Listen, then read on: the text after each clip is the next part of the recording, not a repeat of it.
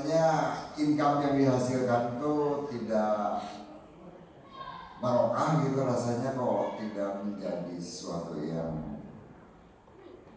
bermanfaat. Ya saya hanya ingin adakah eh, saran dan namanya apa namanya ya jalan yang bisa saya tempuh untuk Boros, betul seperti itu. Utang di mana-mana. Selalu ada hutang begitu pak Ya kan bukan muka utang. ya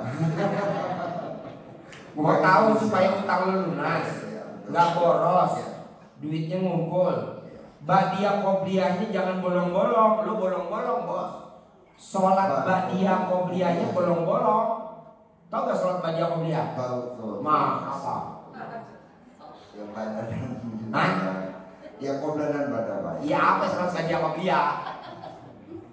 Dua sebelum Dua- subuh. dua sebelum subuh. Bolong.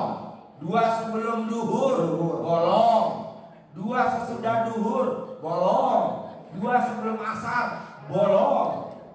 Tuh lu bolong mulu. Sampai anak kelamin aja bolong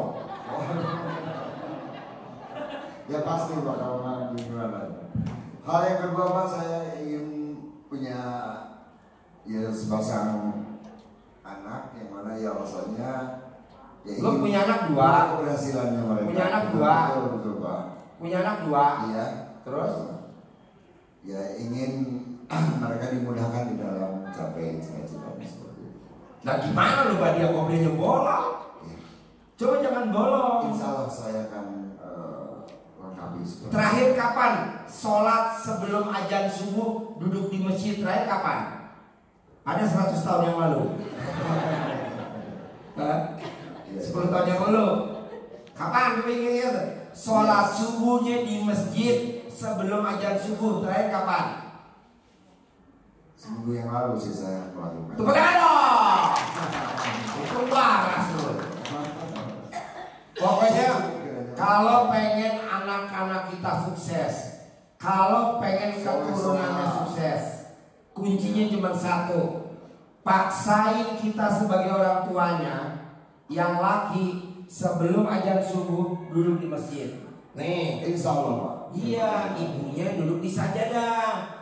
Ini enggak. Pengen anaknya sukses. Ajan baru berangkat dari rumah. Enggak bisa kok sebelum ajan. Sebelum ajan bu, yang laki, yang perempuan sholatnya di rumah. Udah gitu, begini bos. Nanti anak lo udah jadi pejabat, jadi orang sukses, udah masuk ke masjid lagi. Lalu terkabul. Kita kalau belangsa, diperiksa sama baris krim, anaknya diperiksa lagi sama KPK, baru kita seorang bapaknya ke masjid lagi dong. Minta sama Tuhan biar anak kita dilindungi. Itu. Eh nggak taunya nggak terbukti anak kita, nggak usah ke masjid lagi. Nah, Terima kasih. Terima kasih? Terima kasih.